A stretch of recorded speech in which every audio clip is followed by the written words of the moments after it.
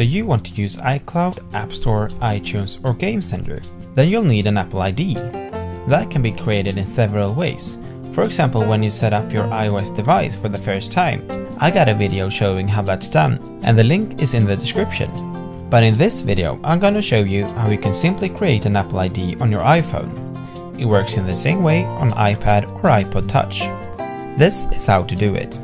Go to your settings. Tap Sign in on your iPhone. Tap on Don't have an Apple ID or forgot it. And tap Create Apple ID. Choose your date of birth and tap Next. Enter your first and surname and tap Next again. To create an Apple ID, you'll need an email address. If you already have one, which is not used as an Apple ID already, you can tap Use your current email address and enter your email address.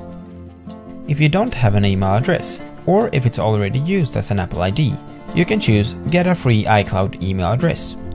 Enter your new email address, which will also be your Apple ID. It must end with at iCloud.com, which is already typed in for you.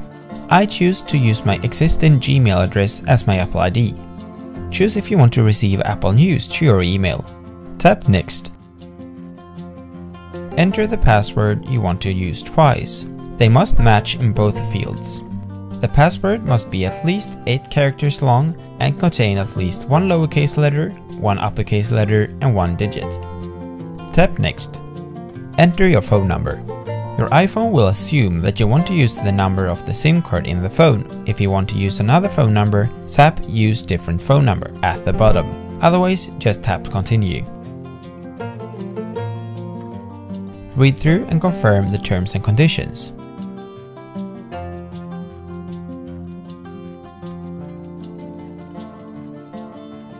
Enter your passcode, meaning the 4 or 6 digit code that you use to unlock your iOS device. Your Apple ID is created and you're signed in. Time to verify your email. Tap Verify email address. If you created a new at iCloud.com account, you won't need to do this step. Go to your email inbox, where you should have received an email with a 6-digit code. Type that code in on your iOS device. Now we are signed in on iCloud. To download apps and so on, we need to sign in on iTunes and App Store. Tap iTunes and App Store and tap Continue.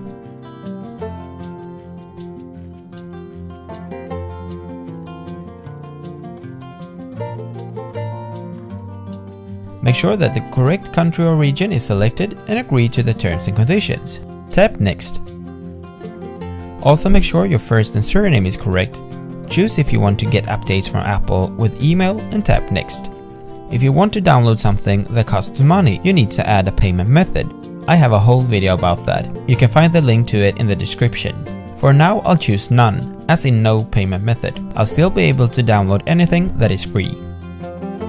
We still have to add a shipping address.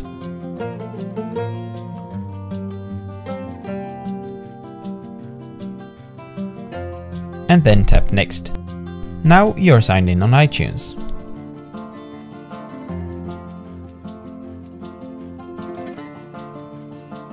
You can tap this icon up to the right to see what Apple ID is signed in.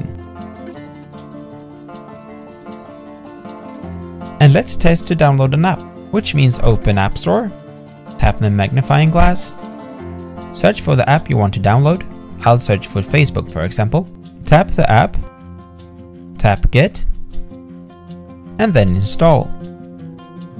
Enter your Apple ID password, as we chose earlier.